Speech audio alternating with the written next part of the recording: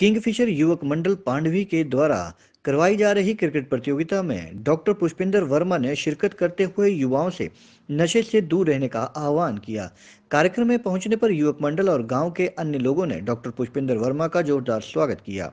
युवक मंडल के प्रधान अभिमन्यु ने सबसे पहले डॉक्टर पुष्पिंदर वर्मा को टोपी व शॉल पहनाकर सम्मानित किया। इस मौके पर ग्राम पंचायत की उप प्रधान सुनील वार्ड पंच किरण बाला वार्ड पंच पवन वर्मा, वार्ड पंच पिंकी देवी, बलबीर सिंह पूर्व प्रधान, सुबेदार जोगिंदर सिंह सहित महिला मंडल की प्रधान व अन्य लोग मौजूद रहे।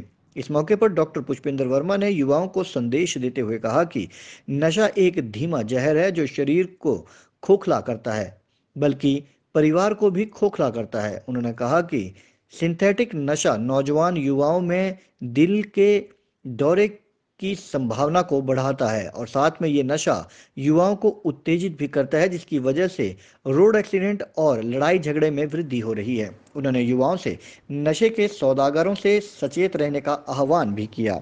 इस मौके पर उन्होंने युवक मंडल द्वारा करवाई जा रही क्रिकेट प्रतियोगिता का आनंद भी लिया और सभी खिलाड़ियों को खेल भावना से खेलने का आह्वान भी किया। साथ ही उन्होंने युवक मंडल को संदेश दिया कि यही टीम भावना के साथ अगर हम खेलते हैं तो अपने शहर व समाज को सकारात्मक और भी बढ़ा सकते हैं।